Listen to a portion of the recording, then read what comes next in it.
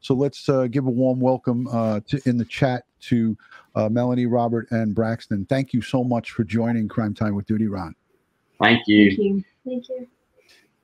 Listen, I want to say right off the bat, first off, uh, Braxton, you get the uh, Hero of the Year award for working the camera and taking the the video that we saw. So, uh, mom and dad uh, should be very proud of you. You you listened to directions good, and you did a great job. How do you feel about that, pal?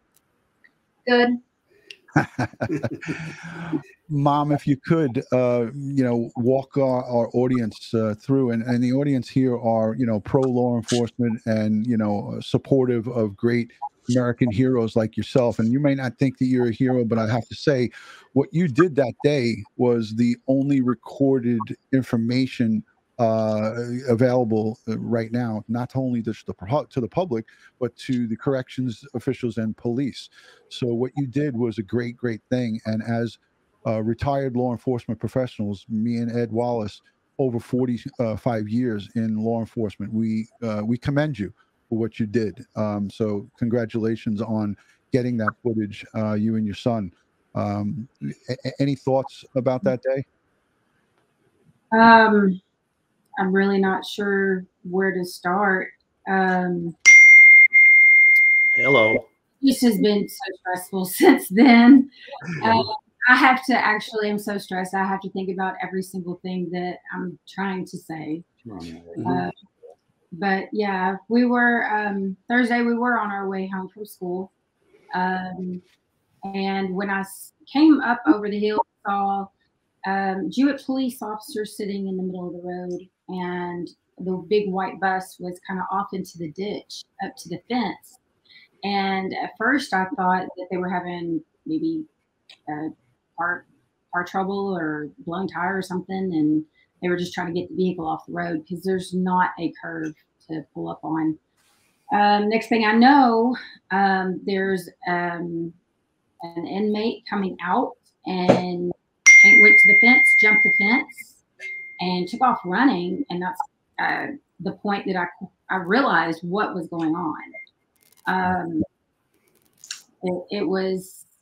I wish I had my video camera going at that time or asked Braxton to, but it just took me a little while to process just what we were witnessing. Right.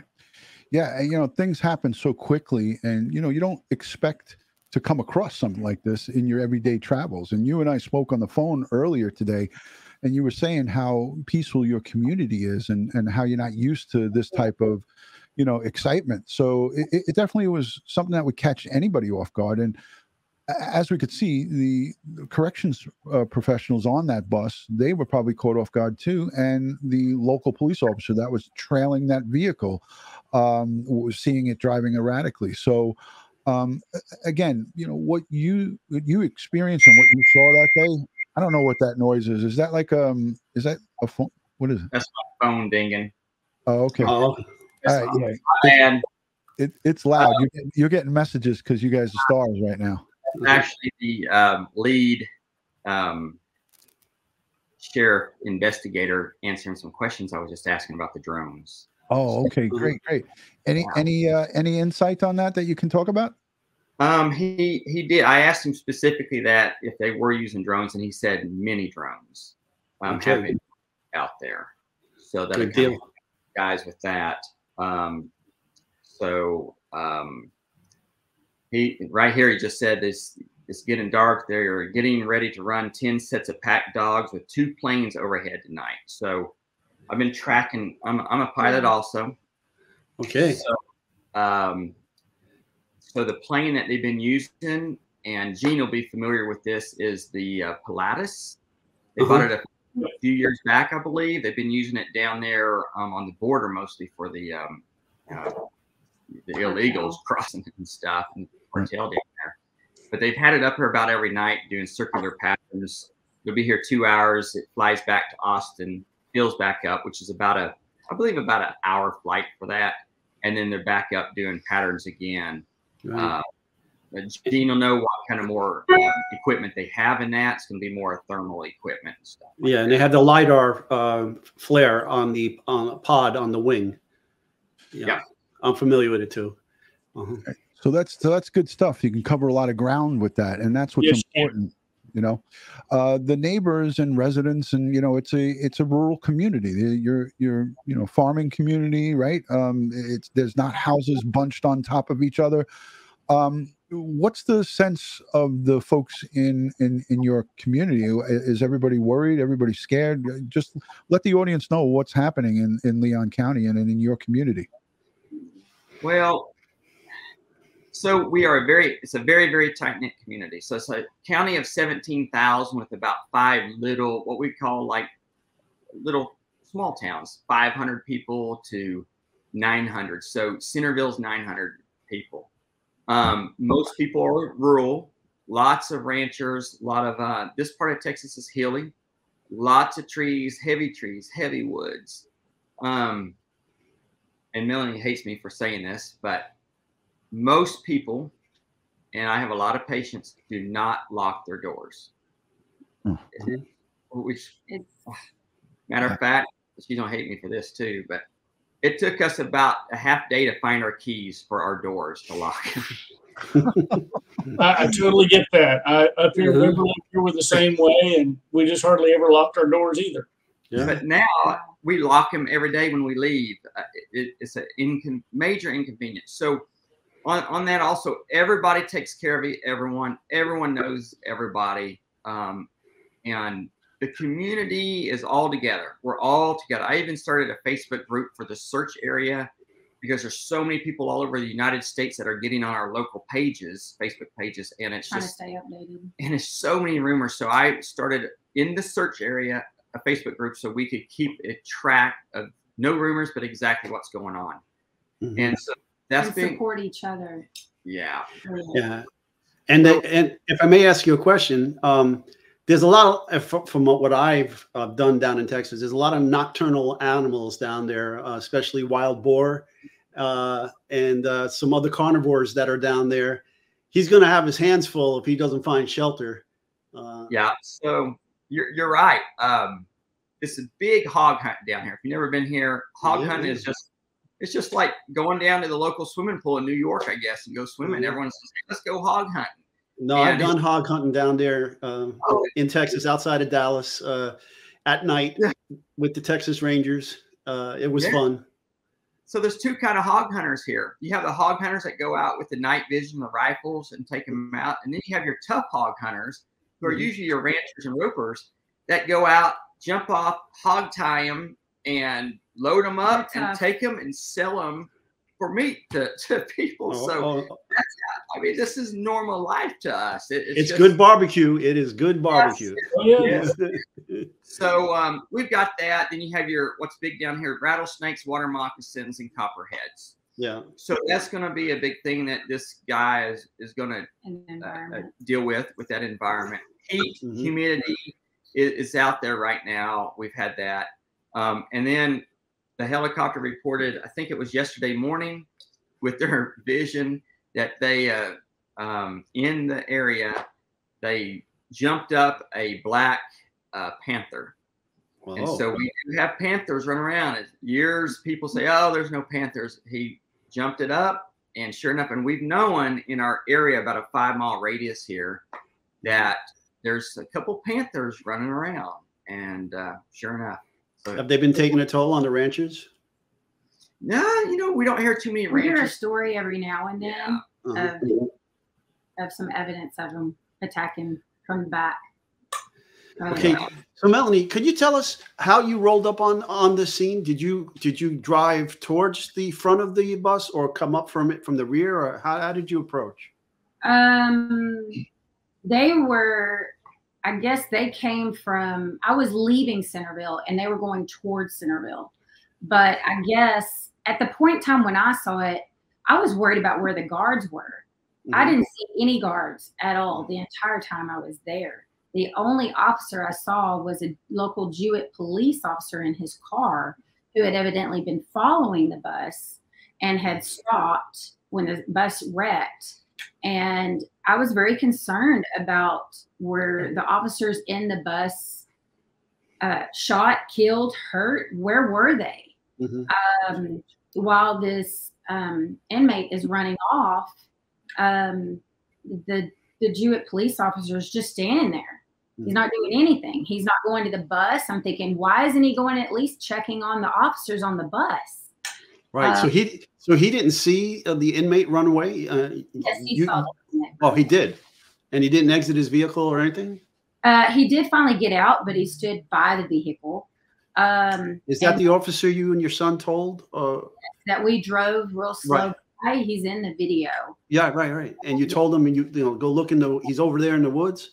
Yeah, man, it, he had he had fear all over his face. He didn't know what to do. Uh-huh. And what about you, Braxton? Did we- we- You didn't seem to be afraid. Are you taking that camera and you got that uh, the white uh, uniform running through the woods in the background?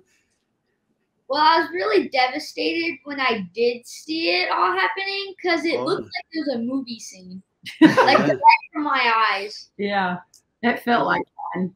You may be too young for this, but when you when you get off the show, go to Google and look up the Bigfoot video. Okay, Uh, You know, because that's what re- that's what your video reminded me of. The guy in the white, it was like Bigfoot walking into the woods. Yeah, but I could tell the way he was running. He was slinging his arms side to side. I knew he did not have anything on him, no shackles whatsoever. Did you notice if there were any other prisoners in the uh, bus when you drove by? I could hear every one of them. It was Oh, eerie. They were all yelling and screaming. I heard. I found out later there were 15 other inmates on there. wow. and only two guards. And I've been told there's supposed to be three, but they were shorthanded, so only had two this time. Well, that's news. Okay. Uh, that doesn't bode well. But I'm glad to hear about the drones and then the fixed wing aircraft that are up there now doing their pattern searches. Uh, nighttime's probably the best uh, if they're going to be using that forward looking infrared um, um, to do this. Uh, Gene, you have anything to add? No, that uh, that Pilatus is uh, is a very nice aircraft. It has a nice long loiter time. Oh, Uh, it can it can fly slow if necessary, and or it can fly fast. I mean, from Houston to to, to Austin, and my 172 is, is typically you know two hours. Mhm. but uh, you know it, it's got a pretty good cruise speed as well. And uh, man, that's uh, the the TASE ball that they have in there, the TASE Duo. I'm sure it's what the one that they're they're flying with. The uh, uh, it has both night vision and FLIR, Yeah. so uh, it's got a nog on board, and they're they're probably uh, scanning the heck out of it. I'm sure that uh, they're covering a lot of ground while they're at it every night. Hey, I'm a I little- wanted to ask- uh, I'm sorry, Melanie. I, I, I didn't mean to talk when you were talking, but I wanted to ask you guys, based on what Gene just said, and some of the people in the chat are. There's a lot of folks who think that this guy is down, in, you know, gone into Mexico. What's the feel of the folks of you know um, of the county there? Do, does every? I mean, everybody's going based on what the law enforcement and the um, you know the the TDJ uh, CJ is telling you, right? Um, what do you, what do you guys feel? Um, how do how are you guys taking this? Like- they're saying they think 95% sure that he's still here. But the more this every day that goes on, I think more and more people are beginning to think that he is he's left the area. Right. But there's so many houses. Like we're in a rural area where there's camp hunting houses and uh, old abandoned churches to um, what else? Um, just structures like that, weekend homes. Because Right. we're in between Dallas and Houston, and those people come here and just have a weekend place. So there's a Mhm. lot of structures that people are not going to all the time. Yeah. What if you're hiding out in one of those? I mean, Yeah, they're vacant. Yeah. good this Yeah. whole time, and nobody's even been in there to look. Yeah, there's, Yeah, my there's so many possibilities, Ed, where they, where he could be. Yeah, yeah. Uh, my family has a large spread of land on the Mexican border, um, south, uh, of San Antonio, and uh, they had a few um, ranch houses on there, but they lease the land out to hunters, and the hunters go there and they'll they'll they'll use the cabins. But um, recently, the the cabins have been destroyed by illegal border crossers uh, going in there and sheltering there for some period of time before they moved on. And we won't even get to the border right now because we can do a complete whole show about that. Uh, I want to show, with your permission, Melanie, the infamous 28 second video that Braxton uh, recorded. Um, you shared it with me. I think this is a real high res. Um, you know, when the news was playing it, it looked a little f- fuzzy, but this one looks pretty clear. I'd like to play it with your permission, if that's okay. Okay. All right, here we go. Uh, this is the video that they recorded on the on the day as they were driving by. So I'm going to go full screen with it, and let's play it. Oh wait. Oh wait, this is not it. Okay.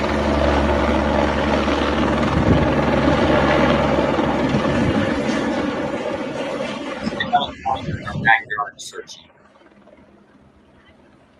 So that's the Texas Department of Public Safety helicopter. Right. Yeah. Yeah. Did you guys record that? Yes. Okay, so that was from your phone. I'm gonna just I'm just gonna pick up the next clip, but I want to let the rest of this play because it actually gives our audience a good look. This is the day. This is mm, 20 minutes, 15 minutes after um, this all occurred. Uh, Melanie, correct me if I'm wrong. They were. Gosh, that was a few It was- days after. It was Friday. Friday. So that yeah.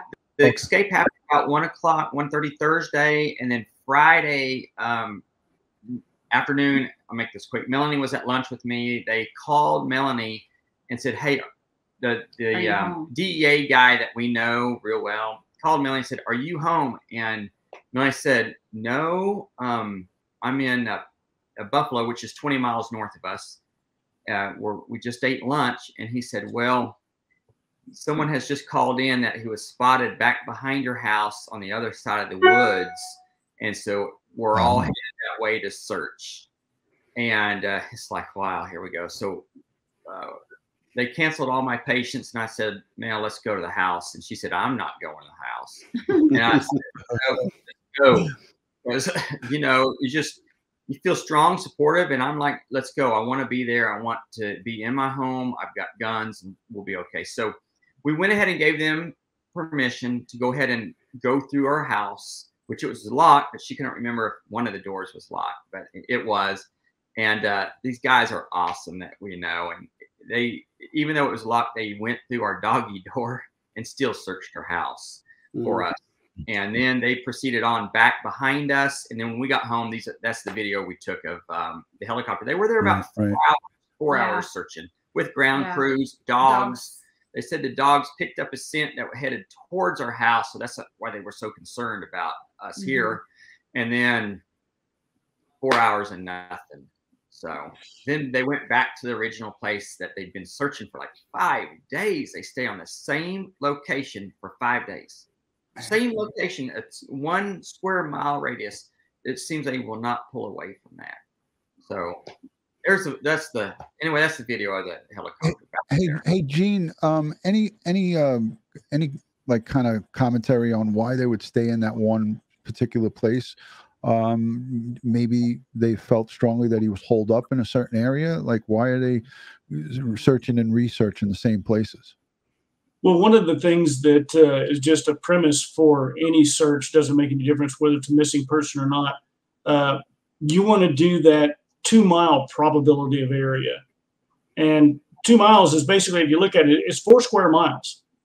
Right. So you want to scour that four square miles just as thoroughly as you possibly can to ensure that that individual is not there before you move on to the other.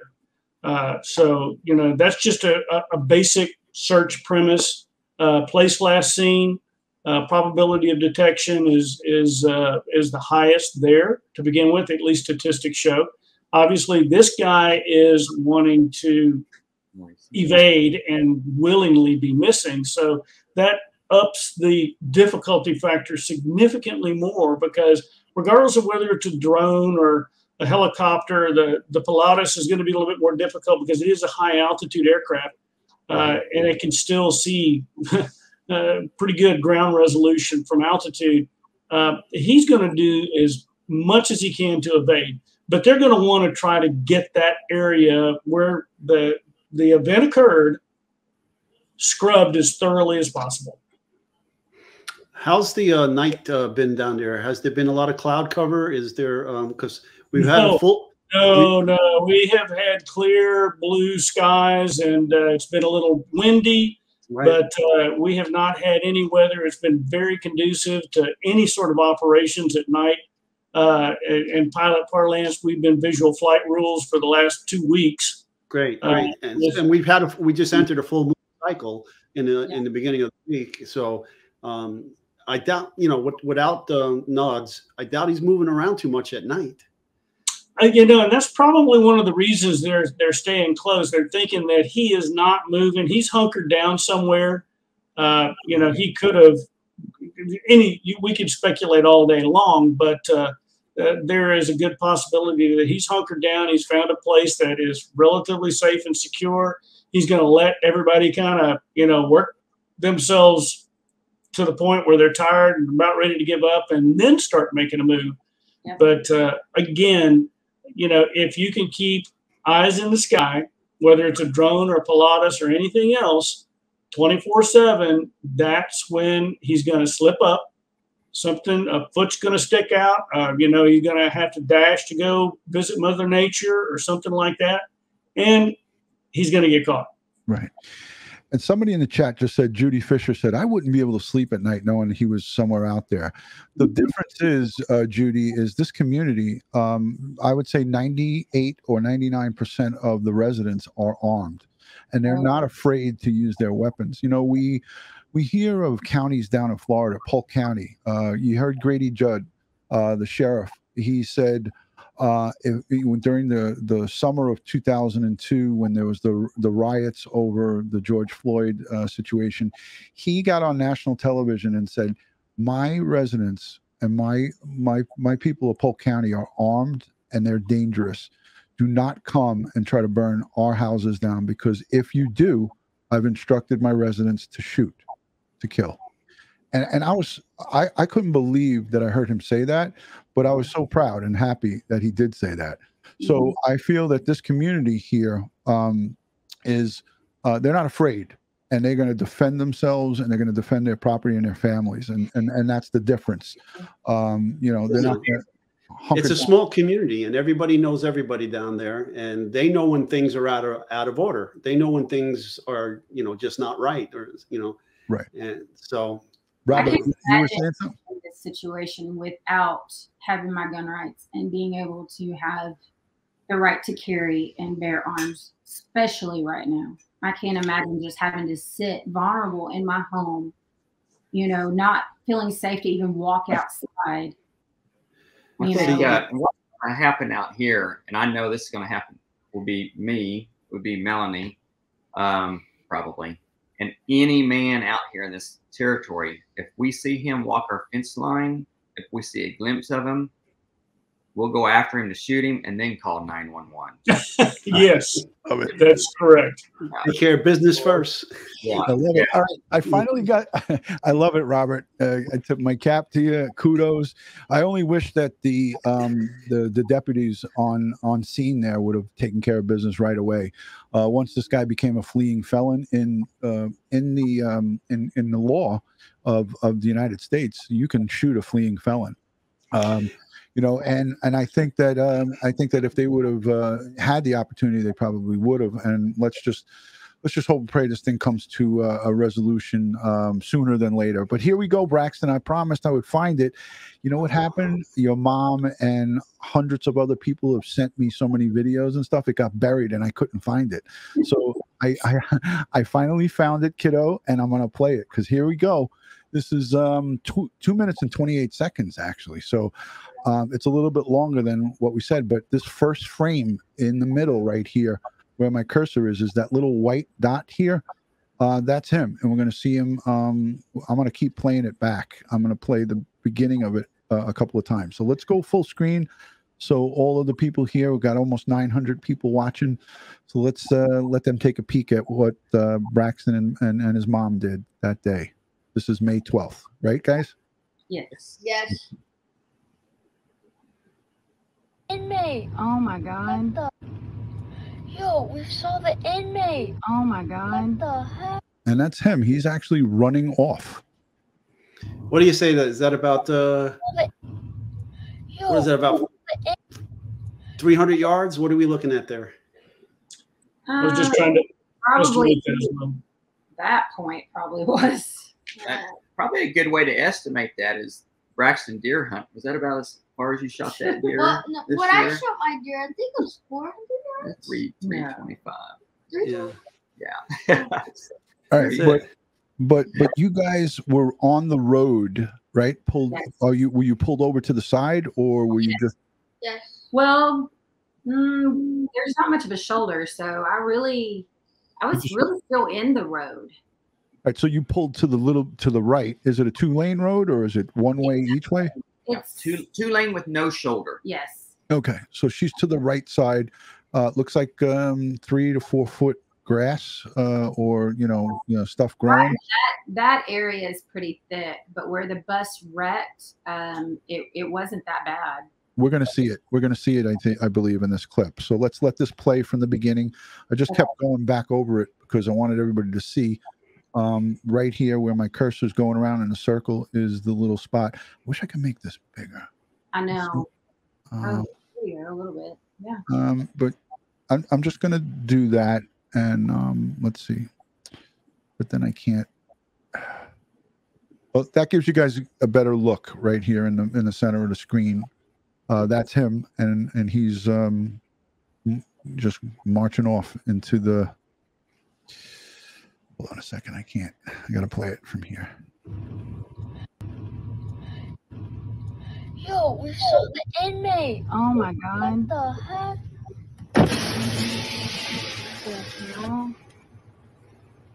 The bus is right up to the right there I want to stop it where so you guys can see. Okay, so right where her right rear view mirror is on her truck, there's a police vehicle straight forward on the opposite side of the street facing her, and um and and you can see the bus right here, right up over the um over the rear view on her passenger side. Um, that's how close they were, and that's where he was at that time. Um, and she passes just in a short time after this and says, "He's out there." Uh, And so that- that cop, you can see he's just standing by his car right there. Yeah, Just see him right here, yes. Right there. See, now if they could have got an air asset out there as quickly as possible with that high grass from that bird's eye view, you could see his uh, path through the through that area. Ed- Uh, Eddie, the perp, the perp is just right here to the right of this. No, well, he's a little further away, but but but the point is, like I said, it, Gene just agreed. If, if we would have gotten an air asset up there, you would have found that that Yeah. path because nobody traverses through there. So he's the only one going through there. He's making his Right. his path. Now, if you're on the ground and you're tracking, you're looking for sign. You'll see plenty of sign. Uh, you know, you see that the um, the uh, foliage and the uh, indigenous plant life has been you know crushed by him passing through there you might even find bits of hairs and fibers from his clothing and so forth or you know they get caught up on stuff uh, and you'll definitely see footwear uh, impressions uh, running through there so even a good horse if you could have got a horse in there uh, immediately or some uh, after this guy but or, he- or a local that- rancher, a local rancher with an AR across his back. well, shit, hell, I was just thinking. I was just thinking from that window with my 308. He, he's gone. Yeah. All right, let's let the rest of this play. It's two minutes and 28 seconds. I'm going to let it play in its entirety here. Yo, we saw the inmate. Oh my god. What the heck? He's hiding right in there. Is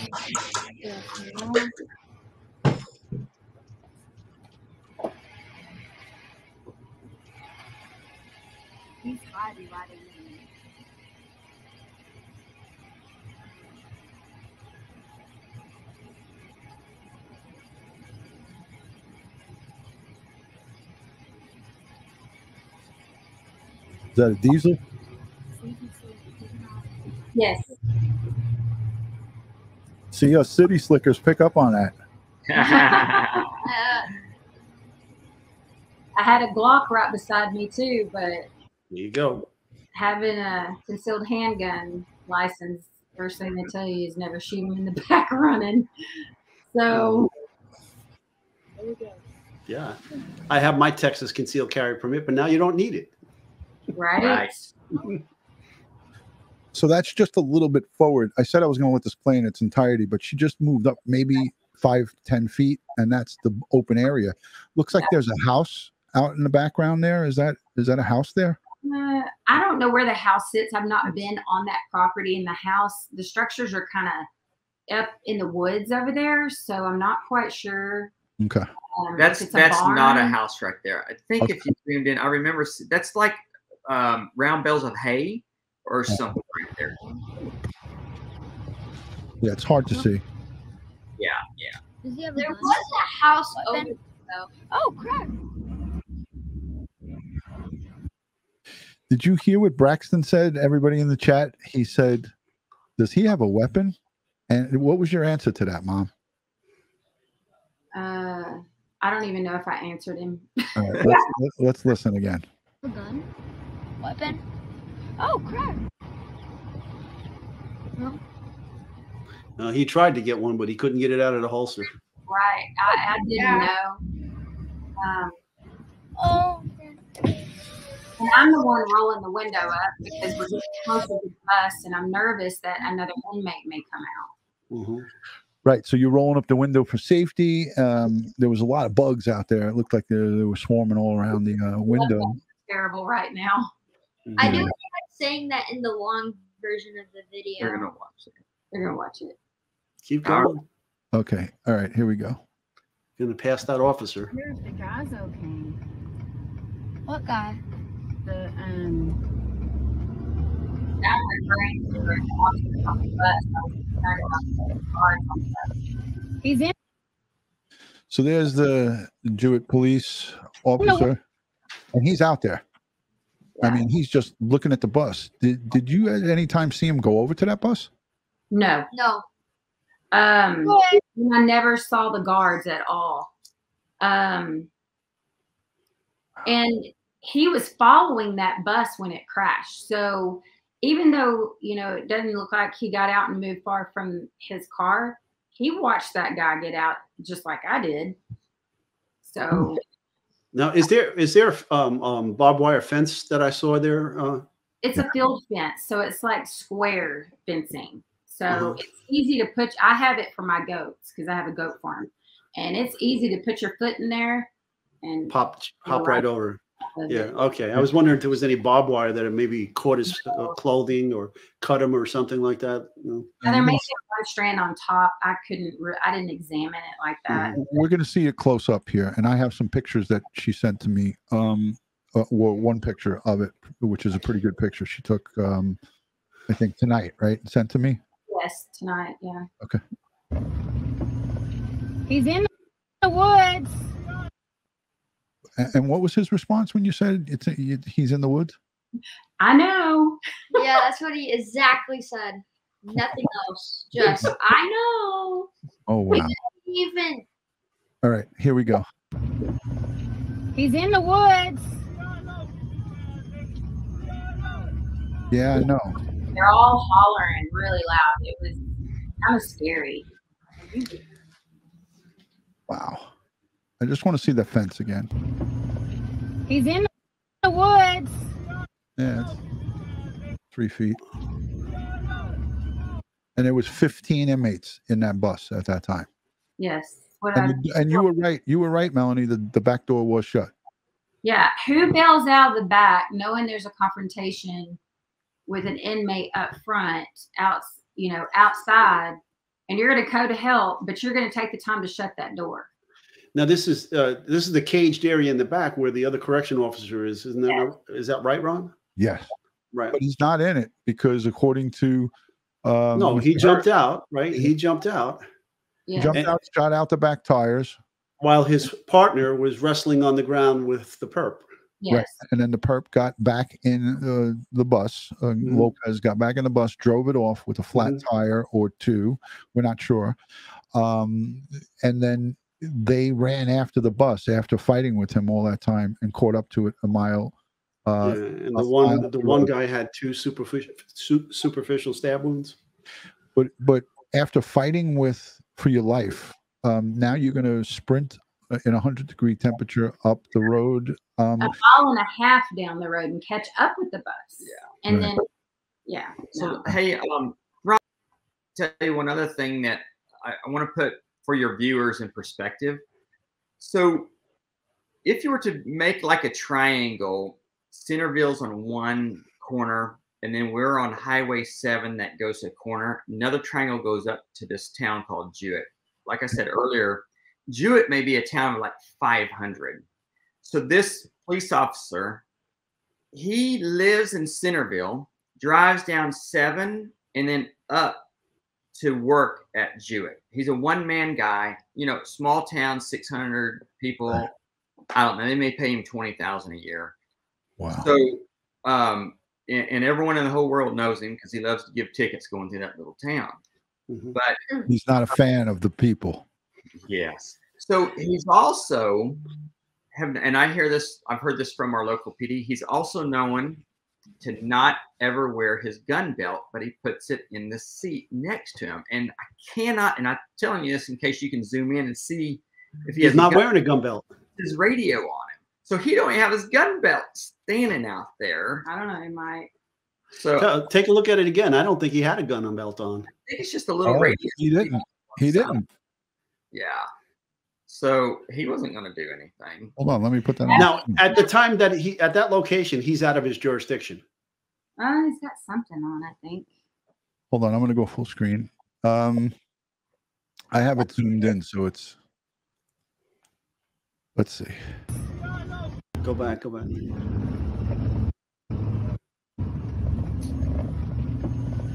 He's in, in the wood. I don't see your gun belt. Nope. Somebody's knocking on the door. You would see it. It sticks out. Yeah. Is Uh, is this in this area right here? Is that's not his town that he's a cop in, correct? No. Um, No, it, it's it's not um We're a few miles from Centerville right here. Small uh, small town. Centerville does not have police. Okay, so we're a rural area. So most of all of our town is the sheriff is what we use there, sheriff officers. And when you call 911, what's a typical response time for this sheriff? Probably 10, 15 minutes. And folks, and that's why I keep telling you, you are your own first line of defense. Uh, when when seconds counts, uh, the cops are going to be minutes away. In this case, 10, 15 minutes away in the rural areas of. Uh, sometimes it's even worse than that, 20, 30 minutes away, depending on how large the county is.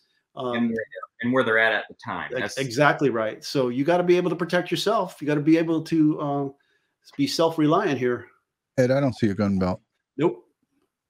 Um, but if he was a righty, it, the gun would be on the right side, you know, right there. But you know, unless he was wearing some kind of pancake holster on his right hip or something, but he doesn't have a gun belt on. Definitely not official, you know, like uniform gun belt. No, So ta- no taser. so the first officer on the scene is just somebody driving through or driving back home or driving from home to uh, his to his um, place of uh, place of work, his geographical area of employment. Yes. My understanding is that he saw the bus swerving and then he turned around to follow the bus. Mm-hmm. So he was just passing through. Yeah. Yes. Mhm. That explains why he didn't. Ch- I mean, I would have I would have considered volleying shots at, at that guy. I would have uh, freaking at least unloaded one magazine at him. Yeah. At that at, at that distance with a handgun, you're not going to hit him.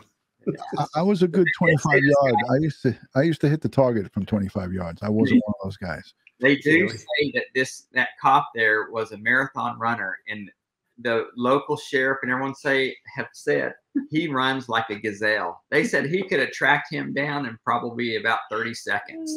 Is he, is he the Forrest Gump of the police department there? Yeah. Holy shit. um, so let's let the And all this you're fixing to hear, you'll see another, you'll hear a police car coming, and that's going to be was it the sheriff or DPS? That was all DPS. DPS. And we have a large, our little area right there. We're right on the interstate, I 45 that goes from Houston to Dallas. And we have a great DPS there, Department of Public Safety, that's Highway Patrol. And Mhm. great, great, great guys. Our sheriffs are great. Our highway patrols are great. They know everybody and they really take care of everyone. And so at some point in time, this call probably came in and you could immediately hear a highway patrol that was probably down just down the street there. So Wow. So once the call goes out, we have to assume that they had an emergency call box in the um, inside the bus. There has to be, uh, and, and if there isn't, shame on them. But I I would have to bet uh, I would I, would have to guess that there's some type of emergency um, uh, device in that bus if there is something that goes on. Once that's activated, then the troops start responding from wherever, and it depends on how far away. And I talked to you, Melanie, about this earlier is that some backup could be 20 30 40 miles and if they're on a call then they got to you know get rid of the you know call or the situation and and respond. Uh, and depending on what the call is they might not be able to respond. So that's the that's the danger of this. But you uh, i had asked you and you said time is really hard to tell like Yeah. how long did it take for additional units to get there? And you said anywhere from five to ten minutes right? Yeah, it, it, it's hard for me to uh, determine that. It just yeah it was such an intense moment. You know, what seems like things happen fast, they could be really moving slow, or right you know, it just it's hard to tell. look at this super chat coming in from revenge. I don't know if you guys can see it on the screen. It says good day braxton from australia. Awesome. you are my hero. You are my new hero. Well done. You did great. Awesome. so that's that's for you braxton from australia. So That's awesome. crocodile dundee town and you know people argue that crocodile dundee wasn't from australia but put another prawn on the barbie that's what i said The real, the real crocodile Dundee had a bit of a criminal past. i've heard Just saying. All right, let's let's let the rest of this play because um, we have to give uh, Braxton credit where credit is due. Um, one more super chat's coming in from Joe Murray. That's our uh, attorney, uh, Melanie and um, uh, Robert Braxton. He's the one who um, who gave me the advice for you guys to you know give you the okay. So Joe Murray, criminal defense attorney, he sends in a super chat and he says, "What an amazing story! God bless this wonderful family for taking action." He too is a retired police officer from New York City and now a criminal defense attorney. Awesome. So Why are these names down? Thank all right, let's let let's let the full thing go here, and then we could wrap it up. Um, I can't play it without it. Okay, there we go.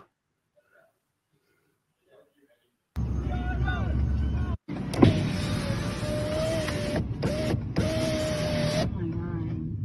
I wonder if I wonder if the guy's okay. What guy? The um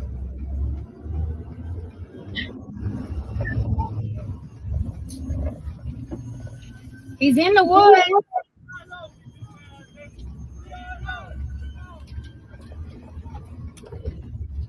ah, you can hear sirens in the background. Are you Yeah, feeling so, that? yeah, you can hear them Yeah. coming. So I'm going in the woods.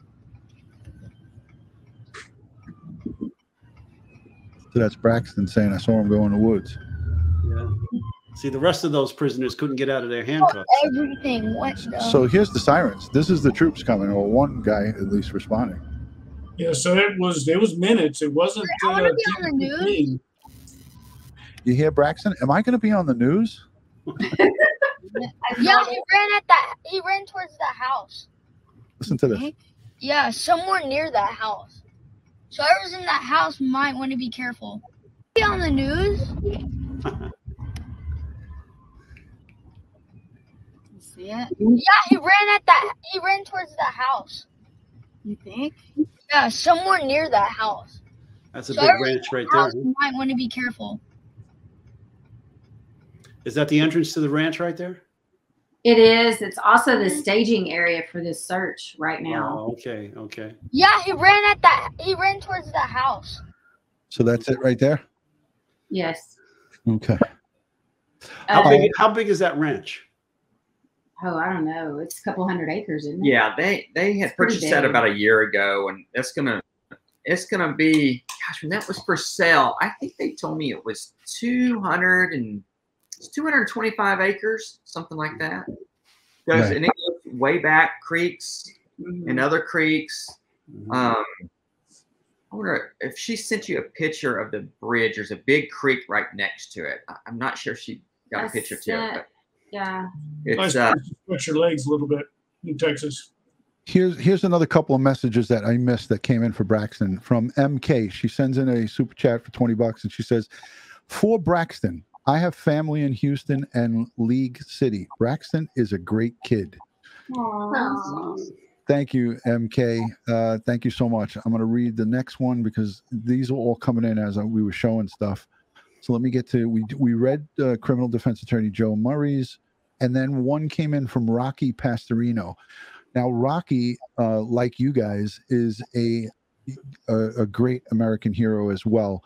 He is in uh, Fernley, Nevada, and the Naomi Irion case. She was uh, the young 18 year old who was um, murdered outside of Walmart in uh, Nevada. And he, as a citizen, started a search group to search for her. And um, he became friends with the family, with her brother. Uh, and he is, again, another true American hero in Nevada who took it upon himself to search for this girl. And he searched night and day and uh, helped. Um, he mobilized over 500 people one day and wow. they searched searched the desert for this for for this girl who turned out uh, you know wound up being murdered by a sick evil monster. Uh, but he is now behind bars and and, and arrested. So um, rocky sends in a super chat and says fantastic job you guys. Citizens at their best. That's right. That's right. If you see something say something. That's what it's all about. Absolutely. Um, so I think I got to everybody. Um, it, eh, you know, these these kind of situations bring communities sometimes apart and they bring them together because there's mixed bags of emotion. Some people have, you know, uh, opinions on what people should do and shouldn't do. But I want to just say this as a law enforcement professional and as Ed can tell you, and many of the folks who listen, Gene himself knows because he is somebody who gives um, himself and volunteers and is public servant in, in some different uh, shape or form. When you see um, somebody in need or somebody that is in trouble, it's uh, it's within ourselves and in humanity to do something to help somebody. It's the same concept. If you see somebody fall in the middle of the street, you're going to go and offer help to them. This was correction officers in distress. Melanie and her son would just happen to be driving on Highway 7 and said, you know, something's not right here. And they took action and they did what they thought was the right thing, and it was the right thing. Um, but you have people who sometimes will question, no matter what good somebody does, they'll question it. And you have to just pay attention to, you have to dis- disregard the white noise. You have to stay focused on what your heart and your soul is telling you you did was right. So, again, I can't overemphasize the importance to you, Melanie, to understand that there's always going to be the naysayers. Misery loves company. And, you know, those folks, if they were put in that same position, there's no telling how they'd react. Um, right. And you did the right thing. So, um, kudos to you and Braxton. Uh, we got some police badges coming out to Braxton and some goodies and some police memorabilia cards from New York. And Ed, hopefully you can come through with the sheriff star for him. No, Ranger Star, different, Ranger. different, totally different. All right. Okay. All right. All right. I know you guys probably want to wrap up, um, maybe, but one thing that you played the video of the gentleman talking earlier, and I don't know if we ever got to that point to where the that's the representative for TDCJ. His story has been totally mixed um, from the start. He keeps changing the story but he seems to be trying. He doesn't like women. we can tell that with his interviews with the women when they ask a question. He's really harsh his on demeanor them. changes, and he's kind of almost. I don't. I don't know if the terminology would be shaman, Melanie, or or or what. He's discounting or what, every time it's brought up. Yeah, there's what what's going on is we handed or Melanie handed over that video within two hours from a TDCJ uh, workers, and actually not just workers, but these were like warden kind of guys that were starting to drive the country roads and all that. So we were at home and we saw him, and Melanie goes, "I need to give that guy that this video. They need to get it to him so they can see where this guy went." So she gave the guy uh, the video. It was actually 6 p.m. on that day. Um, and so he said, "I'm going to get this video um, to our main guy, which is command, to the guy in command, so they can see this and see what's going on. So hmm. five, six days, this guy that is getting interviewed just com- constantly, twice a day, keeps saying, I don't know what video this is. I haven't seen a video. I wish she would come forward and let us know because we could probably use that, but we we don't we don't know who this woman is. And after three days of that, I got frustrated, and Melanie didn't know this, but I called what they call the OIG in Huntsville, Texas. Um, Huntsville, Texas is like the head of the state of the prisons. So that's where all the offices are. I called there and talked to a lady, and she said, "Oh, well, we need to know this information. Let me put you through to command. And they put me through to what I understood was the main guy in command right there. Told him about the video, um, kind of what we have. He goes, Well, we'll probably contact you down the road.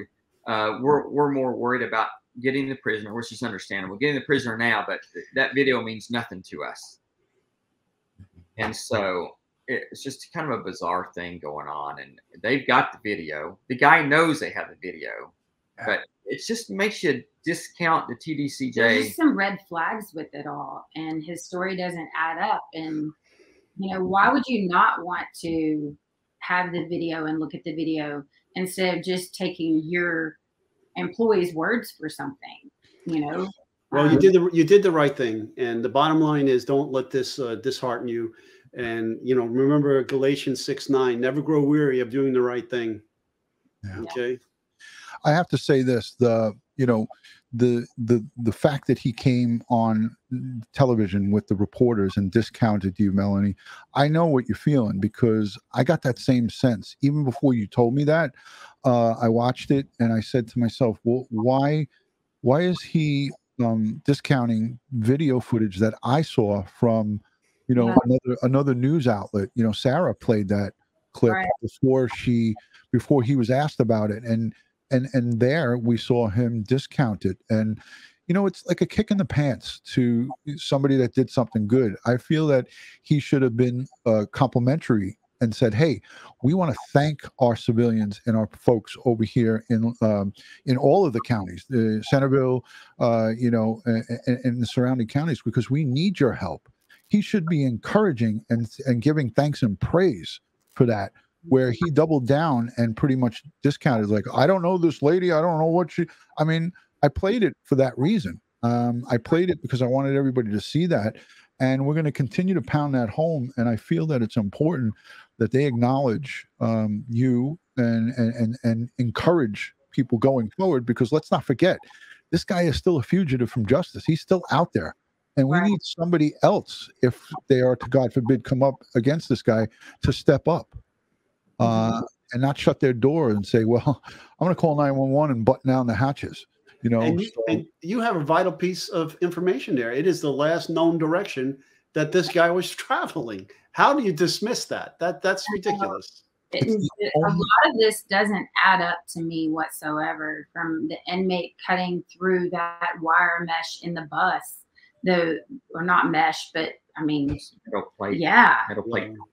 I mean, I don't even know how that's possible, but there's just so many things that, you know, that he has told us are what his accounts of what has happened from the from the guards on the bus that just do not add up to what I drove up and witnessed myself.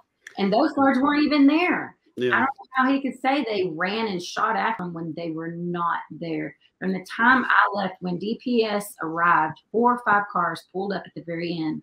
And I was like, okay, there's plenty of help now here. So I'm out. Um, hey, I, I, I don't want to be critical, super critical of law enforcement, but there, there was red flags that just jumped out at all over me during that press conference. And, and I'm going to hold back now a little bit because um, I wait to see when the dust settles because you know in the beginning of, of an investigation, there's a lot of chaos and the and misinformation is flying, and it takes a while before things get um, organized and the true information comes out.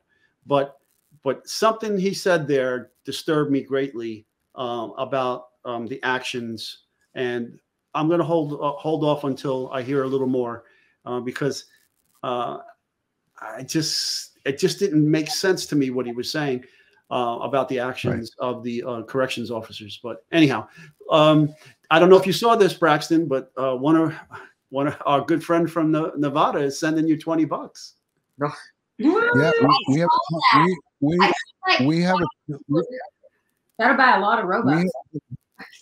Braxton, uh, Braxton, we have quite a bit more than twenty bucks coming your way. So uh, I'll have to send it to mom. You'll have to trust her to divvy it up to you. So, mom, before you know uh, tomorrow or whenever you know we get a chance you're gonna send me, me a way paypal or whatever how i could send all the super chats that were directed to him and you know you guys can use it as you see fit um all that's all of the crime time with DutyRon family saying congratulations and thank you for what you did before i let them the tipperman family go eh, eh, eh, and is it is that am i pronouncing it right or is it tipperman tipperman Thank you. Thank you. I'm sorry about that.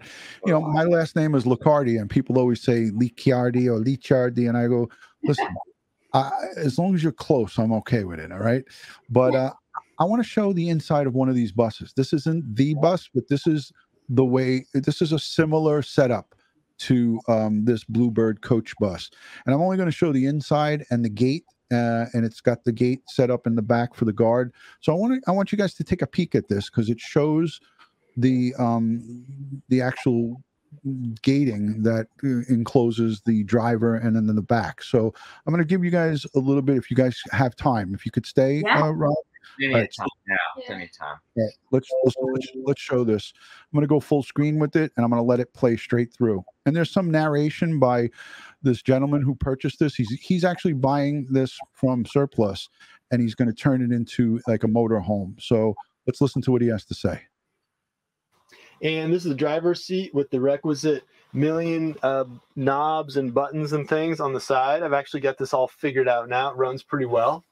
Uh, it's got intercom system and a few little features left over from the days of uh, running prisoners. Um, this is a list I found on the bus. 82 cuffs, two chains, 13 leg irons. And then this one over here is actually a list of prisons in the state. This must have been the route the driver took uh, with all the prisoners.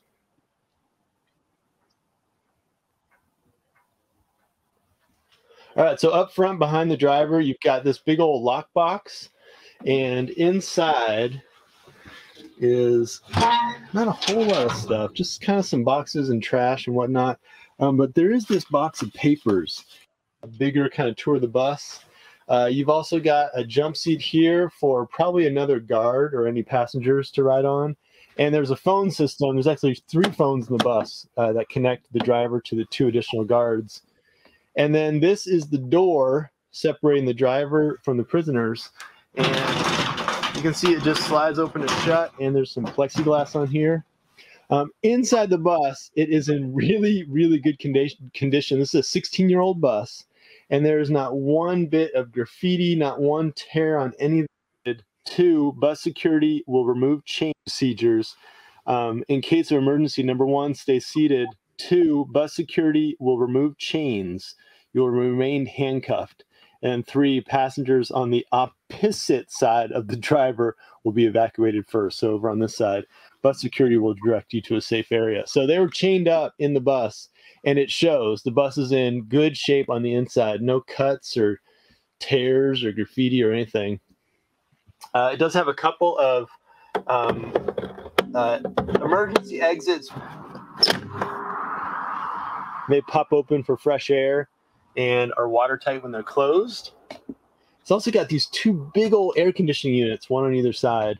There's one there and one here. So it was uh, set up with AC and heat. Uh, that's because none of these windows open. They're all wedged shut from the outside. Not welded shut, but they're just little wedges on the outside that lock them shut. Uh, in the back, you've got a stainless steel commode, and that goes to a black water tank underneath, and there's also a water tank. And um, then there's this other area here for another guard. So this back guard would be locked up in the back, and uh, has a seat back here, emergency exit, and uh, let's see what else. There's a cup holder right here and a switch for a heater. That's a heater underneath the seat for the guard. And there's the other phone, so the guard in the back can talk to the guard up in front. So there was a look at the front and back of these setups. This is uh, obviously not the bus, but this There is the 21 seats for prisoners, so that would make for about 42 prisoners here on the bus. So there's a good look at the gating, and this may or may not be the exact setup, but it just gives you an idea of what you have to would in this case what you would have to cut through. What they described was um, a metal meshing or metal uh, um, uh, kind of underneath, like a there's like a pass through, and I don't know why or how they would think that that's okay to have, but um, this is just your standard uh, prison bus uh, setup, um, and uh, I just wanted to show you guys this real quick. I hope that gives you a little bit a better Yeah. of a you know a, be- a little bit of better of a view of what um, what the driver was looking at and what was going on. Ed, you got anything to say about this prison bus setup? Well, like I said, I would like to. Uh, I would like to examine it myself. To be quite honest with you, I'm very curious about how he got through that uh, that metal. Yeah. So in I mean, it's it's just unbelievable. But um, so I'll let the I'll let the I'll let that finish off, and we'll come back to us. Gene, we didn't get to talk about a lot of drone stuff, but we love having you here because you are a wealth of information. We're gonna let uh, Melanie and her husband and and, and their son their son go, uh, but definitely Melanie, if you can, uh, send me the coordinates for how I can get the cash for the kid. Oh, Um, of course. Yeah, um, I'll tally up everything that we got in super chats, and I'll send it on over to you tomorrow in the morning when I get up. Now, Uh, Braxton, don't use this for junk food. All right. what do you want to do when Braxton? What do you want to do when you grow up? What do you want to be? Uh, a YouTuber and a, a chiropractor like my dad. Oh, okay. Crack some bones, huh? no thought to be in law enforcement? Never know. Yeah.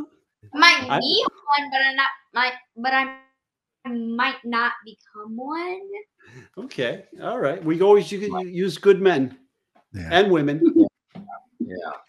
Well, I want to say That's- thank you. I want to say thank you to you guys. Uh, you guys, you guys are a great family. Melanie, Robert, uh, and Braxton.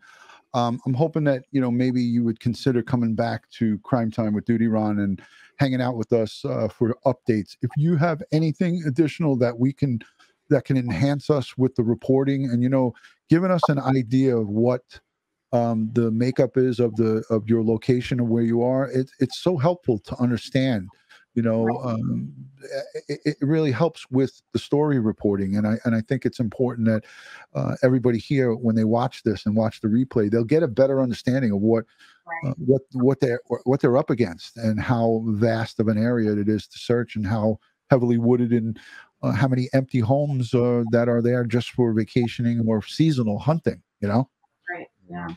so, We appreciate you, uh, Ron.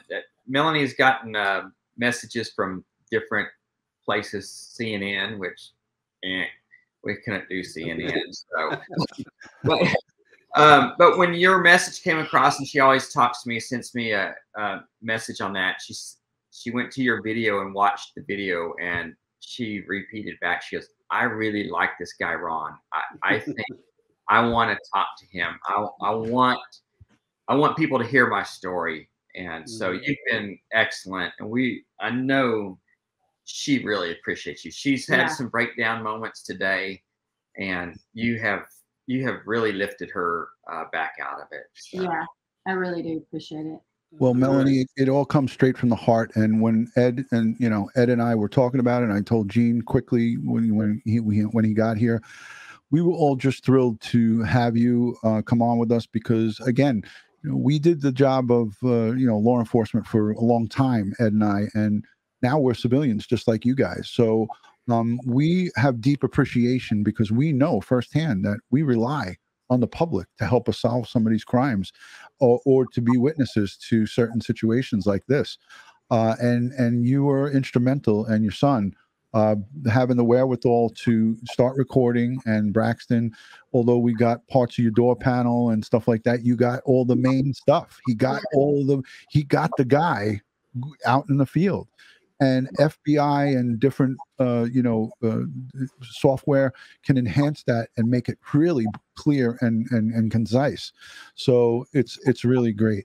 Uh, look at this. really easy for them to kind of push me to the side with having the information, but if it were not for social media allowing me to be able to post this and you guys see it and take it and and help me get the story out and my account of what happened and what I witnessed, you know, it would have been easy for them to push me aside, you know, back before we had YouTube and Facebook and all these ways to get information out.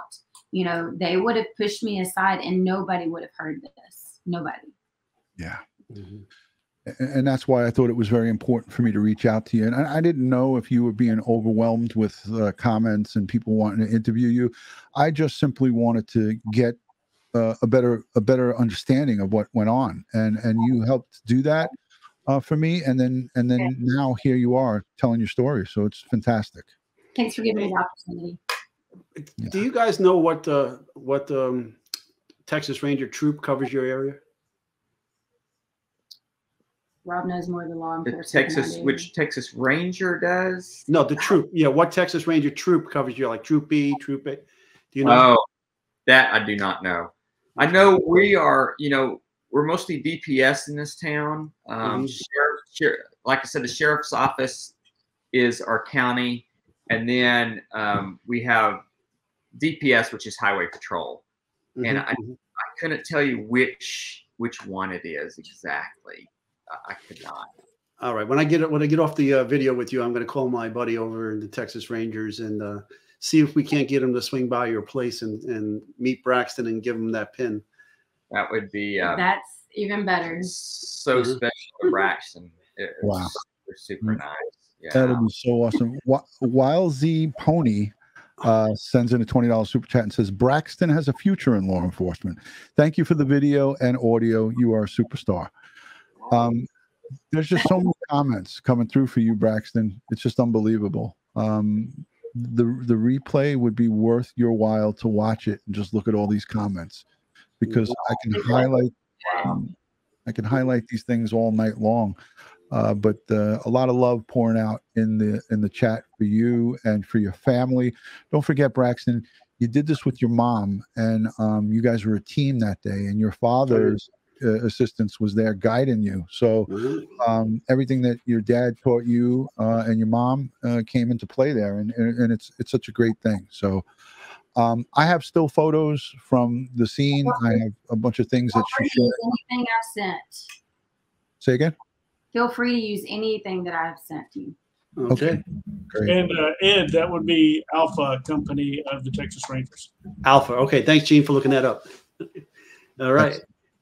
All right, so uh, I'm going to let the Tieperman family go. We've had them an hour and 29 minutes. So um, much love and respect from my house to yours, and beyond. On behalf of Crime Time with DutyRon and this community, you got a new family here. You can come on anytime. You can message me. You guys can text me. Uh, Robert, you got my cell. I'll share Ed's uh, information with you, and Gene, if it's okay with you, I'll share your information with them as well. Absolutely. All right, great. So All right. thank you, Braxton, mom, and dad. You guys are awesome. We'll see you guys again, and then we're gonna All right, Braxton. we're gonna continue again with Gene. Wow, wait a minute, hold on, Braxton. Before you go, look at this. Boom! Way to go, Braxton. I'm going to catch the replay. It says Montana Mama. So, all right, guys. Good night from New York, and good night from Texas. We'll see you soon. Thank you. so much. Good night. Thank Bye-bye. you, family. Wow, what a wonderful family, guys.